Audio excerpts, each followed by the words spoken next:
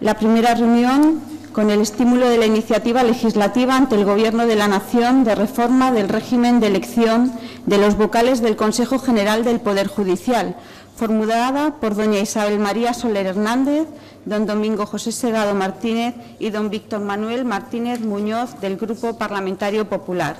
Para la presentación de la iniciativa y en el nombre del Grupo Parlamentario proponente tiene la palabra la señora Soler.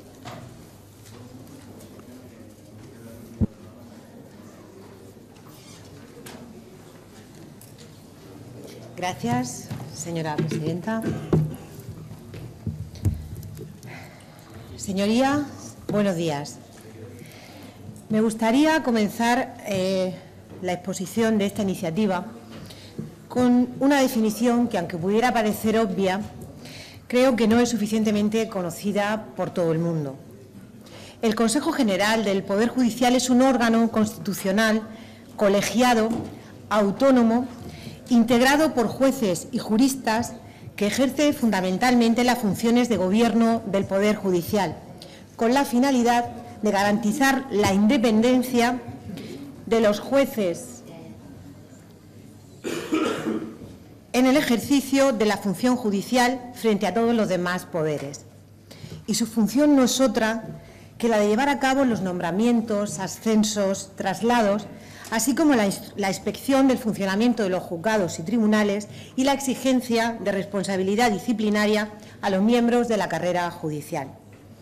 Este órgano de gobierno del Poder Judicial, si bien es cierto que existen países en los que no se da esta institución, sobre todo países eh, eh, procedentes de, de derecho anglosajón que llamamos, en Estados Unidos ni en el Reino Unido existe una institución similar, también es cierto que la inmensa mayoría de países europeos es una institución que sí, que está creada, al igual que en muchos países iberoamericanos. Decía, señorías, que el Consejo General del Poder Judicial es un órgano constitucional porque su existencia emana directamente de la Constitución, que en el artículo 122, párrafo segundo, lo concibe como el órgano de gobierno del Poder Judicial y remite a una ley orgánica para la regulación de su estatuto, funciones, etcétera. Del mismo modo, señorías, los padres de la Constitución ya en el año 1978 regularon tanto el número de miembros que deben de formarlo, que serían 20, nombrados por el rey, y por un periodo de cinco años, y sería presidido por un presidente, que sería el que, haga el que en ese momento fuera presidente del Tribunal Supremo. El artículo 122, párrafo tercero de la Constitución, en ese párrafo el constituyente contempló que de esos 20 miembros del Consejo General, 8 fueran elegidos entre abogados y juristas de reconocida competencia y con más de 15 años de experiencia. Cuatro de ellos lo serían a propuesta del Congreso y cuatro a propuesta del Senado. Y los 12 miembros restantes, hasta llegar al total de 20, fueran elegidos entre jueces y magistrados de todas las categorías judiciales en los términos que establezca una ley orgánica. Esto es, los padres de la Constitución dejaron que una ley orgánica regulara, entre otras cuestiones, la elección de los 12 miembros del Consejo General procedentes del mundo de la carrera de la judicatura. El primer modelo de elección de los miembros del Consejo General del Poder Judicial se recogió en una ley orgánica, la Ley 1-1980, en la que se establecía el sistema de elección de 12 miembros, de los 12 miembros del Consejo procedentes de la Judicatura y Magistratura entre los propios jueces. Y este, señoría, a fin de cuentas, es el modelo que esta iniciativa pretende retomar, es decir, volver al, estado originario en el que cuando se creó el Consejo General del Poder Judicial y con ese sistema de elección. Pero ¿qué ocurrió? Durante la tercera legislatura, con un gobierno del Partido Socialista, vio a luz la Ley Orgánica 6-85 del Poder Judicial, que cambiaba este sistema de elección y pasaban a ser elegidos por el Congreso de los Diputados y el Senado estos 12 miembros procedentes de la carrera judicial. Ley orgánica que, decir, salió adelante con el voto a favor del PSOE y Partido Nacionalista Vasco y voto en contra en aquel momento del Partido Popular. En este sentido, además, el propio Consejo General del Poder Judicial, que ya estaba en marcha, llevaba poquitos años, interpuso un recurso de inconstitucionalidad, pero el más alto tribunal consideró que esta ley orgánica del 85 no vulneraba, no vulneraba ningún precepto constitucional, ya que la propia Constitución, en su artículo 122, da libertad a la ley orgánica para regular el sistema de elección de los miembros de elección no parlamentaria. Señorías, este sistema de elección establecido en la ley del 85, todo hay que decirlo, no satisfacía a nadie, pero es cierto que a pesar de todo ello se mantuvo a lo largo de los años hasta que en el año 2001 se llevó a cabo una reforma de la Ley Orgánica del Poder Judicial, la Ley Orgánica 2-2001, la cual modificó el sistema de elección de estos 12 miembros, 12 vocales procedentes de la magistratura, en el sentido de que dar cabida a que las asociaciones de jueces y magistrados podían presentar ante las cámaras un total de 36 candidatos propuestos por la propia carrera judicial, concretamente por las asociaciones, profesionales de jueces y magistrados, o por un número de jueces que representa al menos el 2% de todos los que se encuentran en servicio activo. De estos 36 propuestos, el Congreso elegiría seis y el Senado otros seis. Señorías, este sistema de elección fue fruto del llamado Pacto por la Justicia suscrito entre el Partido Popular y Partido Socialista y conjugaba o intentaba conjugar el principio de elección parlamentaria de todos los vocales del Consejo General del Poder Judicial con el de influencia corporativa en la elección de origen judicial. Y es el, actual, el que hay actualmente, aunque parcialmente modificado, es el que rige en la actualidad. Más tarde, en julio del 2013, se volvió a producir otra modificación de la Ley Orgánica del Poder Judicial, en el sentido de modificar el número de candidaturas que se podían presentar ante la mesa de las cámaras y que en lugar de 36 no se estableciera límite y además se permitiera que pudieran concurrir candidatos independientes sin tener que estar necesariamente adscritos a una asociación profesional, si contaban, si eso sí, con un número mínimo de avales. Esta reforma, operada en el año 2013, fue objeto de un recurso de inconstitucionalidad interpuesto por el Partido Socialista, pero ha sido resuelto hace apenas unos días, el 15 de, de noviembre, el Tribunal Constitucional dictó sentencia Sentencia avalada además por unanimidad de los nueve miembros del Tribunal Constitucional, que avala la constitucionalidad de esta reforma del año 2013, por tanto, de ese sistema de elección de los doce miembros procedentes de la carrera judicial. En este sentido, señorías, el debate acerca de la constitucionalidad del sistema de elección está zanjado. Hay ya dos sentencias que zanja de una manera Mm, clarísima este tema, pero sin embargo es cierto que en el debate político pues no es un tema que esté del todo cerrado. Me parece importante destacar, señorías, que en marzo de este mismo año el Consejo de Europa publicó un informe sobre los retos para la independencia e imparcialidad judicial de los Estados miembros del Consejo de Europa. En ese informe se vuelve a proponer que los, miembros, que los miembros del Consejo General del Poder Judicial procedentes de la carrera judicial reúnan la condición de jueces y magistrados elegidos por ellos mismos. En esta línea también se mantiene el Tribunal Europeo de Derechos Humanos una reciente sentencia de junio de este mismo año. Señorías, es un compromiso del Partido Popular y por ello se ha traído, ha traído esta moción el Grupo Parlamentario Popular. Además, es un objetivo que no ha aparecido hoy, sino que ha venido eh, estando incluido en algún que otro programa electoral del Partido Popular eh, para concurrir a las elecciones. Ya que es la forma de que eh, restablecer ese sistema de elección que ya rigió en el periodo 80-85, entendemos que es una forma de que el Consejo sea más independiente y neutral y, desde luego, respetando, como ha sido hasta ahora, siempre el mandato constitucional del régimen de elección de mayorías cualificadas.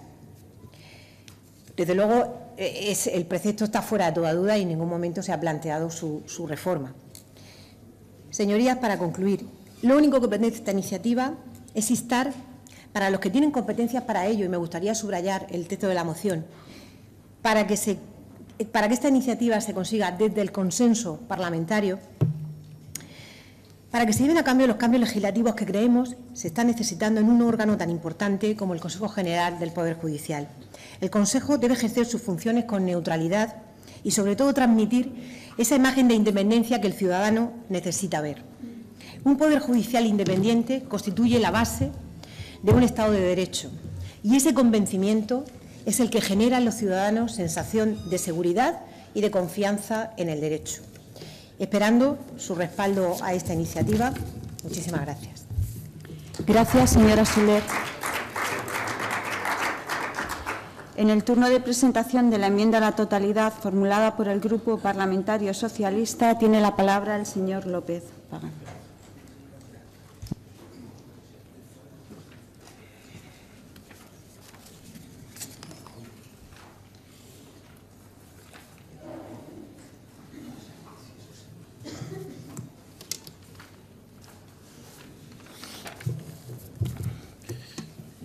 Gracias, presidenta.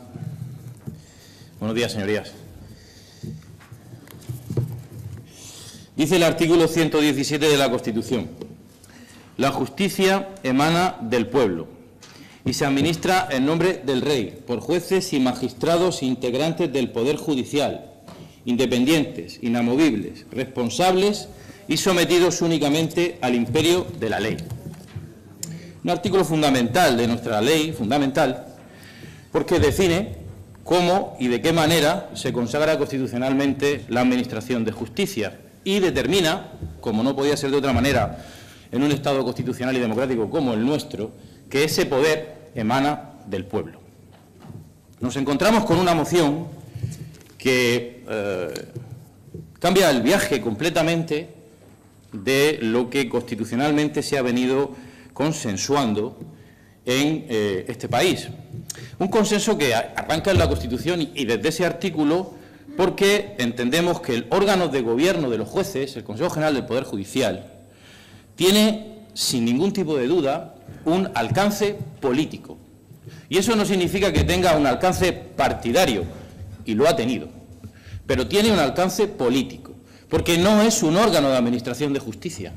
Hay que diferenciarlo bien los integrantes del Consejo General del Poder Judicial no toman decisiones sobre las personas, no toman decisiones en ningún ámbito que tiene que ver con las partes en un procedimiento.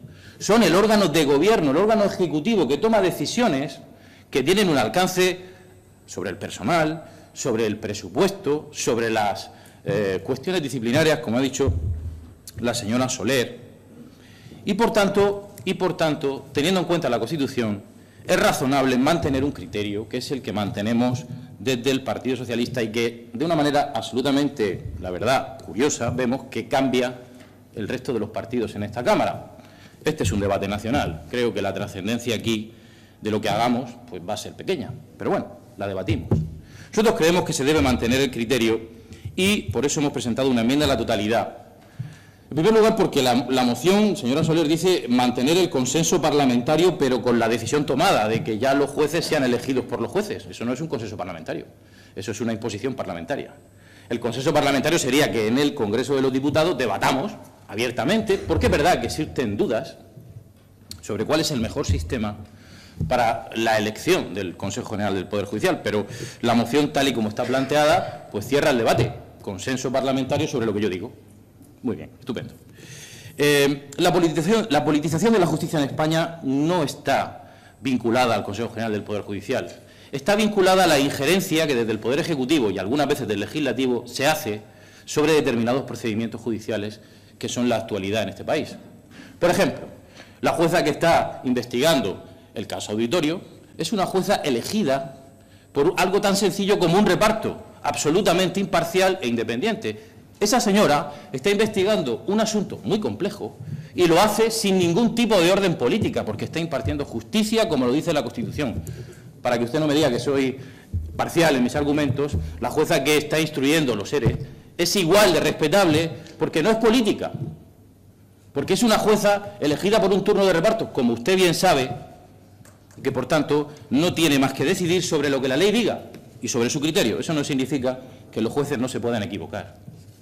Por tanto, hay que diferenciar bien en este debate el órgano de gobierno de los jueces, que es el Consejo General del Poder Judicial, de la justicia como tal, porque no hay que confundir el debate. La función del Consejo General del Poder Judicial la ha definido usted, nombramientos y ascensos, traslados, inspección del funcionamiento de juzgados y tribunales, la exigencia de responsabilidad eh, disciplinaria a la carrera judicial. Pero digo, son diferentes sus atribuciones de las de los jueces ordinarios, a los que debemos respetar en su trabajo si somos demócratas.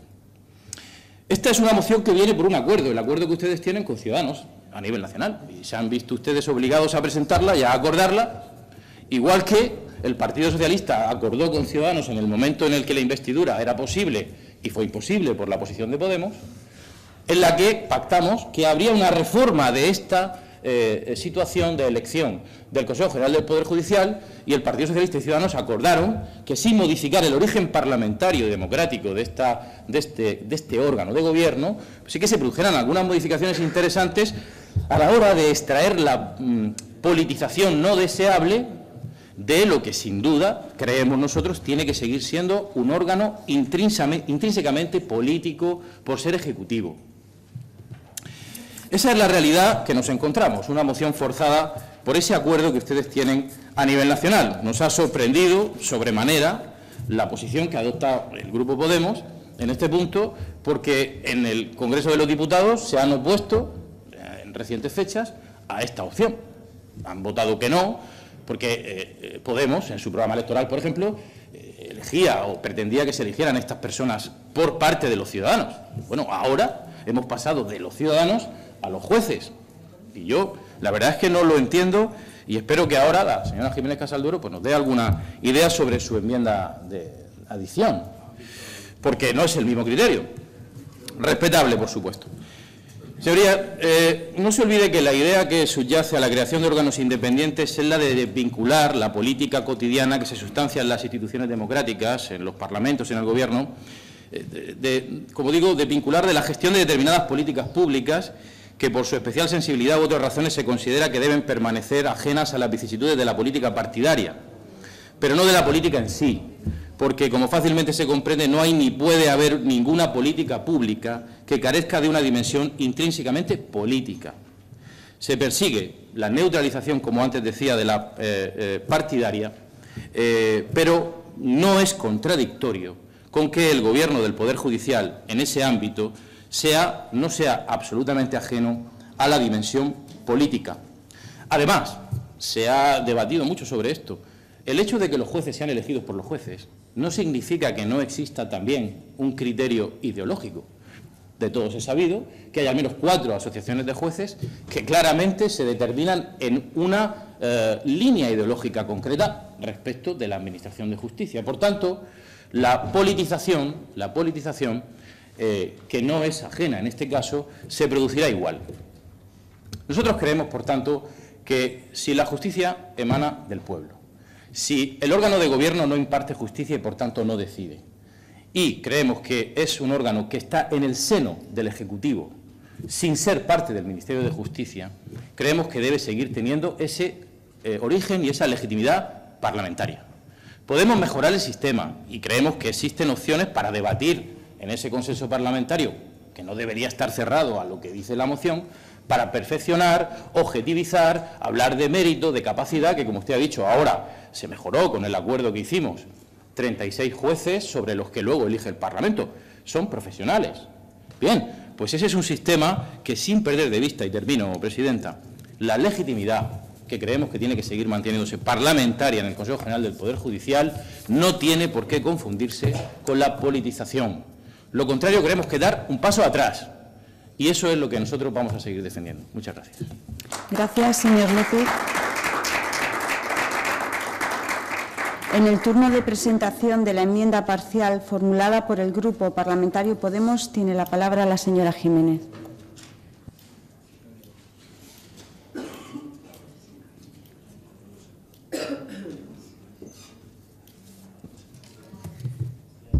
Buenos días, señora presidenta. Muchas gracias. Bien, nadie duda aquí, yo creo que con las intervenciones que hemos escuchado, de que la independencia judicial es reflejo de una adecuada separación de poderes y que se considera como requisito indispensable para poder afirmar que un Estado es realmente democrático, social y de derecho gracias a esa independencia. Lo que debatimos aquí mm, trata de algo tan importante como es la separación de poderes. Qué duda cabe que, según sea la forma de elección de los miembros del Consejo General del Poder Judicial, eh, llegaremos a esa independencia judicial o no.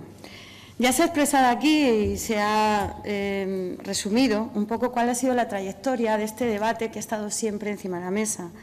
La Constitución española, como ya se ha eh, aludido, decide que los 20, de los 20 vocales del Consejo General, 8 serán elegidos por mayorías cualificadas por el Parlamento y los otros 12 elegidos de entre jueces y magistrados, en función de lo que establezca la ley orgánica. En un primer momento, como bien se ha dicho, en el año 80, eh, hay, hay, la regulación de la ley orgánica del Poder Judicial preveía la elección directa de esos 12 vocales por los propios jueces o magistrados, mediante sufragio directo y secreto. Posteriormente, en esa reforma del 85, a que también se ha hecho alusión, establece que esos 12 vocales de procedencia judicial se elegirían también por el Parlamento, por lo tanto pasarían todos a elección parlamentaria el número total de 20 vocales. Esto supuso en la práctica, a nuestro entender, una merma de la independencia del Poder Judicial, puesto que dio lugar a que se produjera un reparto de nombramientos según, fueran las fuerzas parlamentarias en cada momento, con lo que el órgano de gobierno de los jueces pasa a ser un reflejo del Parlamento en cuanto a su composición. La posterior reforma, la del 2001, empeoró a nuestro entender la situación, pues si bien preveía que para elegir a esos 12 vocales se haría entre los propuestos por los jueces y fiscales, dio un paso fundamental, un papel fundamental, perdón, a las asociaciones mayoritarias, con lo que pasamos a lo que todos conocemos como esa situación en la que se asume como natural que se pueda predecir el resultado de una resolución sabiendo que la composición del órgano y a propuesta de quien se designó a cada magistrado, es decir, se puede hablar de una sala de mayoría conservadora o de una mayoría progresista como si esto fuera algo normal. Señorías, esta Cámara no tiene, como también se ha dicho aquí, la competencia para determinar el sistema de elección de los vocales del Consejo General, pero sí podemos pronunciarnos al respecto de cuál es nuestra postura e intentar hacerlo con el máximo rigor. Con ese rigor hemos de asumir que si la imparcialidad está en entredicho por el actual sistema de nombramientos, que se ha convertido, insistimos, en un sistema de cuotas de partido, y en eso pues me dirijo al Partido Socialista, en el cual pues no entiende nuestra postura aquí y por lo tanto pues no defendemos su posición. La conclusión a la que cabe llegar es la de total y absoluta inconveniencia de mantener el actual sistema de nombramientos y por ello entendemos inadecuado que los vocales del Consejo General del Poder Judicial sean designados por el Congreso y el Senado, al menos aquellos que no han de serlo forzosamente con eh, la actual redacción de la Constitución. La moción presentada por el Grupo Popular, que efectivamente supone un acuerdo ya predeterminado con Ciudadanos y, por tanto, nosotros aquí hemos presentado una enmienda con el criterio que defendemos, pero en función de, de si se acepte o no por parte del Partido Popular, nuestro voto será en contra o no. Esta moción que presenta el Grupo Popular defiende que la elección de los 12 miembros de procedencia judicial se haga directamente por juez y magistrado. Entendemos que esto puede ser correcto en función de ese debate que se plantea que se haga en el Congreso, pero no podemos quedarnos ahí. Si realmente se pretende obtener una independencia judicial, si realmente se pretende huir de la situación actual, en que el Consejo General es el reflejo de la composición del Parlamento, hemos dar un paso más. Hemos de establecer un sistema de votación directo y secreto sin influencia decisiva de las asociaciones profesionales y con mecanismos o sistemas de votación proporcional que permitan una representatividad adecuada de toda la carrera judicial, no solo de las opciones mayoritarias. Solo así se conseguirá que los doce vocales representen a quien tienen que representar, que son los jueces y magistrados como tales, no por su ideología política. Es por eso que la propuesta del Grupo Popular no nos parece la mejor, pues para la imparcialidad entre los miembros de la carrera judicial puede ponerse en entredicho si no se activan determinados mecanismos de control a modo de vacuna de afinidades políticas. Y eso es lo que defendemos. En ese sentido, apunta nuestra enmienda como eh, de mi grupo parlamentario por lo que solo podremos apoyar la moción presentada por el Grupo Popular si se acepta nuestra enmienda. En caso contrario, no estaríamos apostando por un sistema realmente orientado a obtener la máxima independencia judicial. Por otra parte, la enmienda a la totalidad del Grupo Socialista... Tiene que, ir concluyendo, señora sí, gracias, señora presidenta. Que insta a que los 20 vocales sigan siendo elegidos por mayoría cualificada en el Parlamento, no nos parece adecuada, pues permite que la lógica de partido sigue inundando el Poder Judicial y por lo que no podemos apoyarla, ya que supondría mantener la situación actual. Muchas gracias. Gracias. En el turno general de intervenciones, por el Grupo Parlamentario Ciudadanos, Partido de la Ciudadanía, tiene la palabra el señor Sánchez López.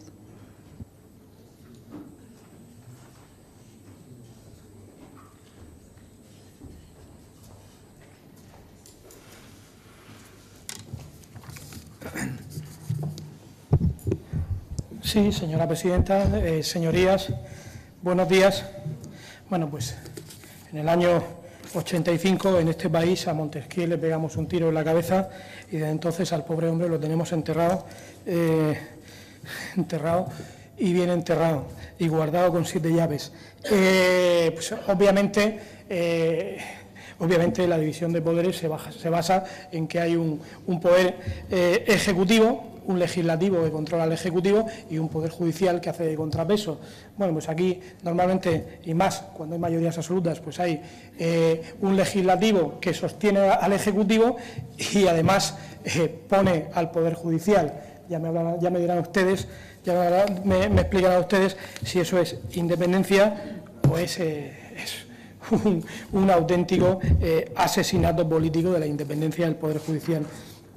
Mire usted, dice el artículo 122 de la Constitución, el Consejo, en su apartado 3, el Consejo General del Poder Judicial estará integrado por el presidente del Tribunal Supremo, que lo presidirá, y por 20 miembros nombrados por el Rey, por un periodo de cinco años. De estos, 12 entre jueces y magistrados de todas las categorías judiciales en los términos que establezca la ley orgánica.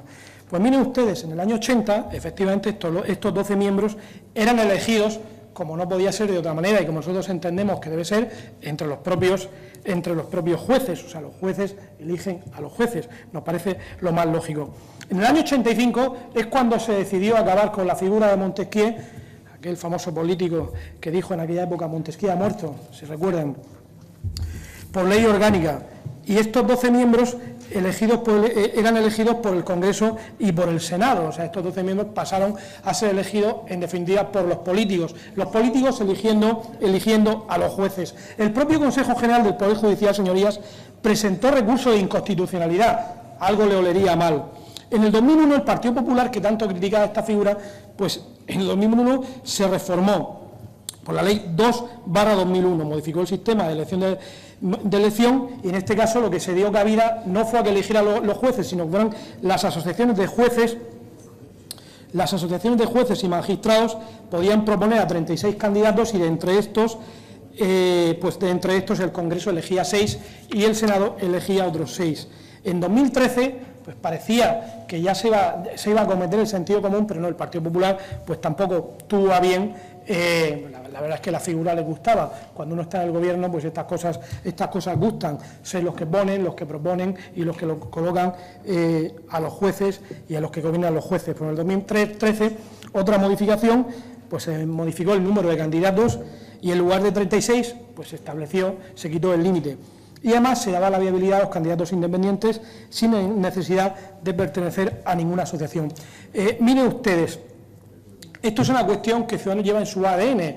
O sea, nosotros nos hemos hartado de hablar de la despolitización de la justicia. Es uno de nuestros pilares básicos, la regeneración democrática y la despolitización de la justicia. No en vano, esta fue una exigencia que se puso al Partido Popular en el pacto de investidura y por eso la vamos a votar a favor, porque han transcrito literalmente, literalmente, hasta con comas, con puntos y comas, pues el acuerdo de investidura y se han transcrito el acuerdo de investidura entre Ciudadanos y el Partido Popular, pues obviamente la vamos a votar a favor porque es una auténtica exigencia. El propio portavoz eh, que ha intervenido en el Partido Socialista lo ha dicho, ha dicho que esta es una exigencia de Ciudadanos y que Ciudadanos se lo ha, impuesto al Partido Popular en el acuerdo de investidura.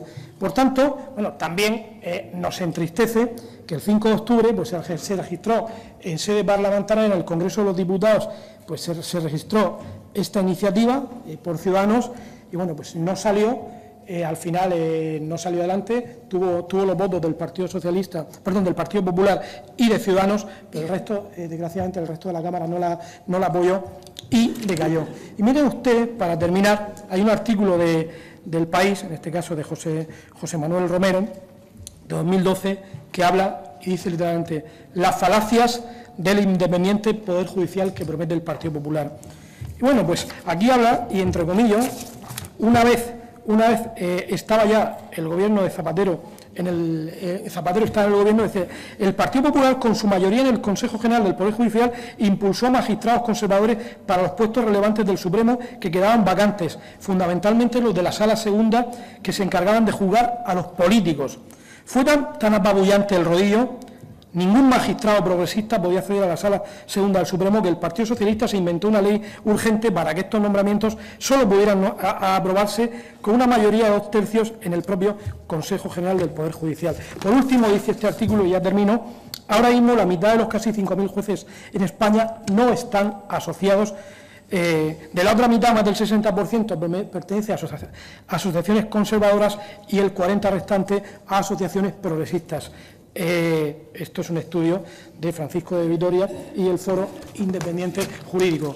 Por tanto, señorías, eh, basta ya de debates políticos, basta ya de demagogia con este asunto, vamos a dejar a los jueces trabajar, vamos a dejar de intervenir los políticos a los jueces que luego tienen que jugar a políticos y de independencia judicial y que los jueces sean elegidos por los propios jueces. Muchísimas gracias. Gracias, señor Sánchez.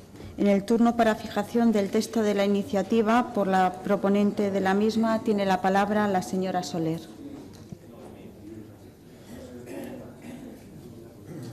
Gracias, señora presidenta. Bueno, voy a ir por orden. Con respecto a la exposición del, del Grupo Parlamentario Socialista, cuando afirman que el Consejo General del Poder Judicial no es un órgano de la Administración de Justicia, yo creo que es el más importante de la Administración de Justicia, porque es el que rige el órgano de gobierno, el órgano de gobierno de la Administración de Justicia. Es el órgano de gobierno de la Administración de Justicia. Y, por ejemplo, en materia disciplinaria, es algo tan sumamente importante como para poder garantizar que exista independencia e imparcialidad en este órgano. Es el principal de la Administración de Justicia. Por otra parte, es cierto eh, bueno, que entendemos que efectivamente es algo que no solamente está pidiendo la, sociedad, tenemos que escuchar también las voces que nos vienen de Europa, como he, explicado en mi, en mi, intervención. Es que desde el Consejo de Europa están instando a que en aquellos países en los que los consejos generales de Poder Judicial o los consejos de magistratura que se llaman eh, están regulados de esta forma, están llamando a la reflexión para que los miembros de la carrera judicial sean elegidos entre ellos. Es decir, yo creo que es algo que no debemos obviar y tenemos que estar abiertos efectivamente a poder corregir aquello que, es corregible. Cuando yo hablo de consenso parlamentario, no estoy ciñendo nada. Podemos, por ejemplo, sí que constriñe más con su enmienda lo que sería el acuerdo, es decir, eh, eh, que no me parece, no me parece mal, pero eh, lo que se trata es de la libertad que da la Constitución de que por ley orgánica se regule este asunto, pues que haya un consenso parlamentario a la hora de desarrollar esta ley orgánica, nada más. Y pero eso sí, con la premisa de que estos 12 jueces eh, sean elegidos como nos recomienda Europa y como nos vienen recomendando desde la propia judicatura de la propia magistratura. Estoy totalmente de acuerdo con usted, fíjese, en un punto. A los jueces, a los de primera instancia, de instrucción, a todos, hay que dejarlos trabajar. Hay que dejarlos trabajar porque últimamente, tengo que decir, se quiere politizar la justicia y judicializar la vida política. Yo creo que la efectiva separación de poderes debería de venir, eh, en primer lugar, por esta premisa que nos debemos de marcar todos. Efectivamente, la moción que trae el Partido Popular es un acuerdo con Ciudadanos y ya aprovecho para contestar al compañero, a, a Miguel Sánchez. Es un acuerdo con ciudadanos, pero yo recuerdo que, como usted vería, cuando estudiamos el derecho de contratos, un acuerdo es la libre mm, manifestación de la voluntad de las partes, no hay imposiciones. Eh, creo que con buen criterio se ha adoptado este consenso por parte de nuestras dos formaciones políticas y se ha plasmado en un acuerdo. Además, no es algo genuino que venga ahora. Como he dicho en mi exposición, ya el Partido Popular en más de un programa electoral con el que hemos concurrido a las elecciones, aparecía recogido como un punto este criterio. Lo que pasa es que efectivamente una vez que se tienen eh, responsabilidades de gobierno, pues muchas veces eh, no es tan fácil eh, hacer determinadas cuestiones. Por lo que respecta a Podemos, no es que nos parezca mal su enmienda. El problema es que precisamente no queremos encorsetar el acuerdo que salga de aquí. Realmente lo que se pretendía con esta moción era pues, un posicionamiento político, es decir, respaldamos ese acuerdo que efectivamente han firmado eh, Partido Popular y Ciudadanos, entiendo que con el mejor criterio. Se trata de que allí, en el seno donde se debe gestar esa ley orgánica, que es el Congreso de los Diputados, pues allí, con el consenso parlamentario que creo que debe de primar en una cuestión tan importante como es esta, pues establezca cuáles son, eh, pues se desmenuce las cuestiones que deben de incluirse o no en esta ley orgánica y en este sistema de elección de los 12 miembros del Consejo General eh, procedentes eh, de la magistratura. En ese sentido, es decir que bueno, mantenemos el, texto de la iniciativa que trae el Partido Popular en esos términos, porque queremos que sea en el, seno del Congreso donde se geste eh, la ley orgánica con el criterio que todos los partidos políticos que estamos ahí representados entiendan más oportunos, escuchando a las voces más cualificadas a la hora de, de llevar a cabo la regulación. Nada más. Muchas gracias. Gracias, señora Soler. Pasamos entonces a la votación de la iniciativa. ¿Votos a favor? 25. ¿Votos en contra? 18. ¿Abstenciones? Bien, en ese caso queda aprobada la iniciativa.